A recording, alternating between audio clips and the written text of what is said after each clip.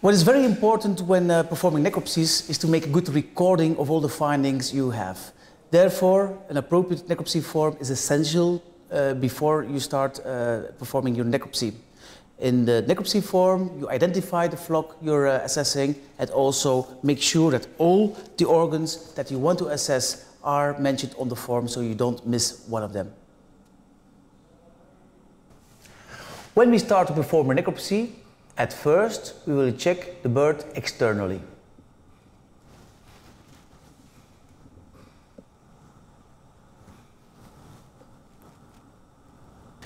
We will check the condition of the feathers, the condition of the skin, to see if there are any bruises or scratches, the comb, the wattles, the ear, the eyes, the beak,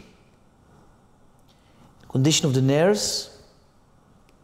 We also will check the condition of the foot pads to see if there are some infections and how clean they are. Next to that, very importantly, we will check the condition of the joints to see if there is any swelling or abnormal contents in the joints. In the meantime, all aspects are noted on a necropsy form. So when we uh, open the chicken, we'll make a small incision just under the sternum and we open the cavity of the bird. Some organs become visible immediately, such as the liver and also the gizzard. Also we can see, just below the liver, we can see the heart. Thereafter, we'll take out the whole intestinal tract and cut just cranial of what we call the proventriculus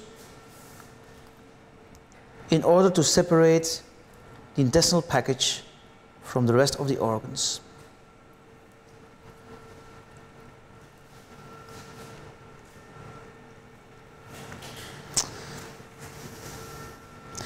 In order to take proper sampling, we will separate organs such as liver and place them separately in a tray so that we can take samples in optimal conditions. We do the same for the spleen. In order to keep the bird nice flat, we pop out the femoral heads from the joints so that the bird stays nice and flat. We can also cut some of the ribs in order to give us more space. This way, we get a really good picture of the other internal organs. You can clearly see the heart with the heart sac. Also, you can very clearly see the nice and clean air sacs in this bird. And below these air sacs, you can also see the lungs, which in normal conditions should be pink. Further down the bird, you can see the kidneys. The kidneys should not be swollen, but in some uh, disease conditions, they can have a swollen aspect, or you can even see urates in the kidneys. Another very important organ in chickens is what we call the bursa of Fabricius. The bursa of Fabricius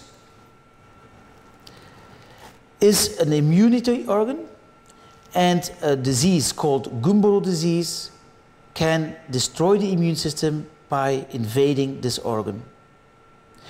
You can also see the remnants of oviducts of the bird, so indicating that this bird is a female bird. We have been able to look at the air sacs and the lungs, but we will also check the beak and also the trachea.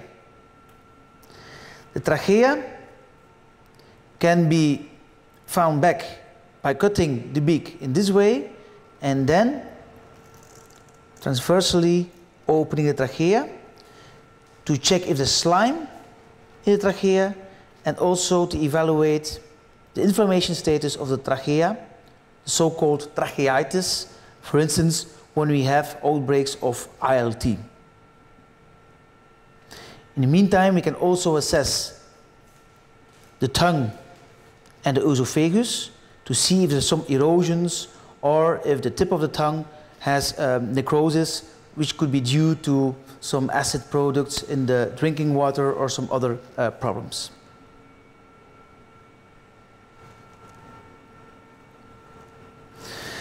The bursa, as an important immune organ, can be assessed in different ways. The first one is the size of the bursa. Next to that, we can check if on the bursa we see a gelatinous membrane indicating a case of Gumboro or not. And when we open the gut, uh, the bursa, it should be completely whitish without any signs of inflammation or other lesions.